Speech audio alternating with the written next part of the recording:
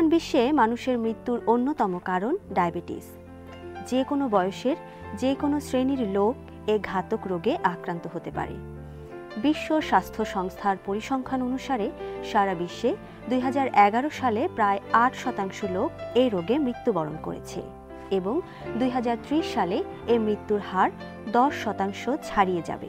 Diabetes পৃথিবীতে মহামারীর উপরে দেখা দিয়েছে এবং এটা world health organization international diabetic federation এবং ইউনাইটেড নেশনসও একে ডায়াবেটিসকে মহামারীর রূপে চিহ্নিত করেছে।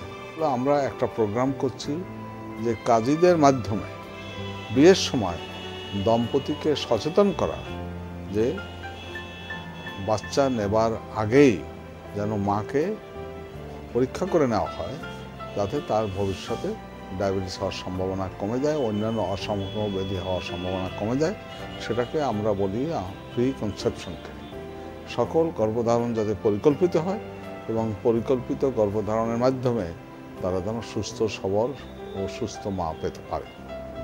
এই একটি, আরেকটি প্রোগ্রামও আমরা নিতে যাচ্ছি, সেটা হলো মসজিদ, মন্দির, গির্জাতে। যাতে বিভিন্ন ধর্মীয় অনুষ্ঠানে বিশেষভাবে মুসলমানদের শুক্রবারের নামাজের খোদবাতে এই ডায়াবেটিস যাতে প্রতিরোধ করা যায়, করার জন্য কী প্রয়োজন, সেই মেসেজটা পাবলিককে দেওয়া হয়। কারণ প্রায় সব ধর্মেই বিশেষভাবে মুসলমান ধর্মে ডায়াবেটিস বা এই সমস্ত অসংক্রামক ব্যাধির প্রতিরোধের জন্য খুবই উপযোগী মেসেজ বা পরামর্শ দেওয়া আছে। তো সেটা আমরা ফলো করলে এই রোগকে বহুলাংশে তার বিস্তার রোধ করতে পারবে। সবচেয়ে আশ্চর্যের বিষয় ডায়াবেটিক রোগীর সংখ্যার দিক থেকে বাংলাদেশ দশতম এবং উনিশশো আশি সালে ডায়াবেটিক রোগীর সংখ্যা পাঁচ শতাংশের নিচে থাকলেও দুই হাজার চোদ্দ সালে তা বৃদ্ধি পেয়ে মোট জনসংখ্যার দশ শতাংশ ছাড়িয়ে গেছে। দুই হাজার দশ সন থেকে আমি এখানে চিকিৎসা করতেছি ডায়াবেটিস রোগী। এখানে আসার পরে লাইন ধরে আমরা বই বই জমা দিই। ডায়াবেটিস রোগীর কোনো যদি সুস্থ থাকেন কোনো রোগ না। এটা কোনো রোগ না এটা কিছুই না। আবার যদি উল্টাপাল্টা চলেন অনেক কিছু হয়ে যাবে। এটা অনেক কিছু অনেক সমস্যা হয়ে যাবে। ত্রিশ বছর আগে বুঝলাম যে আমার শরীর দিন দিন ক্ষীণ হয়ে যাচ্ছে। তারপর আমি চেক করব ধরা পড়ল ডায়াবেটিস। ডায়াবেটিস অন্য রোগের মতো সহজে ধরা পড়ে না। বলা যায় মানুষের সব ধরনের অসুখের মূল ডায়াবেটিস। এই রোগ অন্য রোগকে আমন্ত্রণ করে আনে এবং সঠিক চিকিৎসার অভাবে রোগীর মৃত্যু ঘটায়। ঘন ঘন প্রস্রাব, ঠিকমতো আহার করার পরেও শরীরে ওজন কমে যাওয়া, শরীরের ক্ষত দ্রুত না সারা অথবা অস্ত্রোপচারের প্রয়োজনে রক্ত পরীক্ষায় এই রোগ ধরা পড়ে। রক্ত পরীক্ষা করলে যদি ফাস্টিং বা অভুক্ত অবস্থায় রক্তে যদি গ্লুকোজ সেভেন পয়েন্ট ওয়ানের বেশি হয়, তাহলে আমরা তাকে ফাস্টিং অবস্থায় বা অভুক্ত অবস্থায় ডায়াবেটিস আছে বলে ধরে নিতে পারি। খাওয়ার দুই ঘণ্টা পরে যদি ডায়াবেটিসের পরিমাণ দশের উপরে থাকে, তাহলেও তার ডায়াবেটিস আছে বলে আমরা ধরে নিতে পারি। তবে এই ফাস্টিং ব্লাড সুগার কিংবা টু আওয়ার্স আফটার ব্রেকফাস্টের ছাড়াও একটি পরীক্ষার মাধ্যমে আমরা নিশ্চিত হতে পারি যে কারও ডায়াবেটিস আছে কিনা। সেই পরীক্ষাটার নাম হচ্ছে হিমোগ্লোবিন এ ওয়ান সি আমরা অনেকেই এই পরীক্ষাটার নামটা শুনে থাকি। এটিও একটি রক্ত পরীক্ষা এবং এর মাধ্যমে গত তিন মাসে কোনো একজন ব্যক্তির বা কোনো একজন ডায়াবেটিক ব্যক্তির রক্তের সুগারের মাত্রা কত আছে তা একটি শতকরা মাপ দেখতে পাই। যদি এই সুগারের মাত্রা সাত বা তার বেশি থাকে, তবে নিশ্চিতভাবেই বলা যায় তিনি ডায়াবেটিক রোগী। এছাড়াও কোনো কোনো সময় আমরা গ্লুকোজ টলারেন্স টেস্ট বলেও একটি পরীক্ষা করি। এটি হচ্ছে আর কিছুই না, আমরা ঠিক একই রকমভাবে অভুক্ত অবস্থায় রক্ত পরীক্ষা করি। তারপরে আমরা তিনশো মিলিলিটার পানির মধ্যে পঁচাত্তর গ্রাম গ্লুকোজ রোগীকে খাইয়ে দিই। এরপরে আমরা আবার রক্তের মাধ্যমে একটি স্যাম্পল নিই। যদি এই গ্লুকোজ টলারেন্স টেস্টে ওই ব্যক্তির ইলেভেন পয়েন্ট ওয়ানের বেশি পাওয়া যায় রক্তের সুগার বা গ্লুকোজ, তাহলে কিন্তু আমরা ডায়াবেটিস আছে বলে আমরা সেটা ধরে নিতে পারি। নিম্ন বা মধ্যম আয়ের দেশে এই নীরব ঘাতক রোগীর সংখ্যা দ্রুত বৃদ্ধি পাচ্ছে। সুতরাং এই রোগ সম্পর্কে আমাদের সঠিক ধারণা রাখা সর্বস্তরের মানুষের জন্য জরুরি। ডায়াবেটিক্সের তো কোনো বয়স নাই ঠিক আছে এটা প্রাথমিক লেভেল থেকে বাচ্চাদের পাঠ্যপুস্তকে অন্তর্ভুক্ত করা উচিত। ডায়াবেটিসটা হচ্ছে আপনার সুগারের লেভেলটা হাই হয়। এটা বেসিক্যালি যাদের ওয়েট বেড়ে যায় কিংবা হাইপারটেনশন হয়। আমরা যারা এরকম সকালবেলায় হাঁটার জন্য পার্কে আসি তাদের মধ্যে এক ধরনের চর্চা হতে পারে।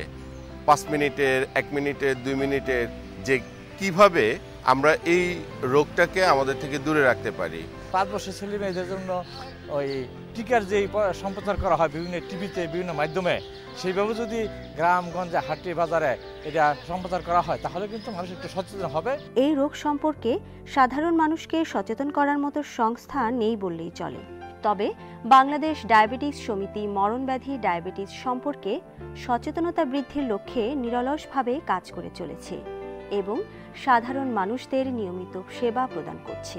বারডেম হাসপাতাল হলো ডায়াবেটিক সমিতির একটি সবচেয়ে বড় প্রজেক্ট আজকে সেই বারডেম হাসপাতাল শাহবাগে স্থানান্তরিত হয়ে সাতশো পনেরো বেডে উন্নীত হয়েছে।